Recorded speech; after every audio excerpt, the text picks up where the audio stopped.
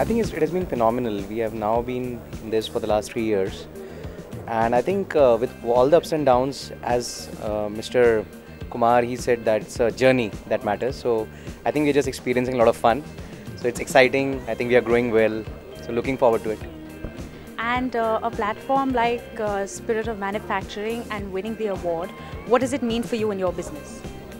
So I think awards do mean a lot for, for the people who are part of your business because they get a confidence that what we are doing together is really something that's going to become big.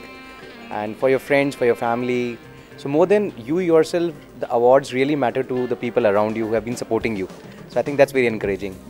Yeah. And what are your future plans with your business? So we have grown as a company to almost uh, 130 plus people now, business across 22 cities in India. So I think in the next one year, we plan to really go grow very fast. So going across India, expanding outside India, plan to scale the company to almost 1,000 people. Yeah, that's the plan.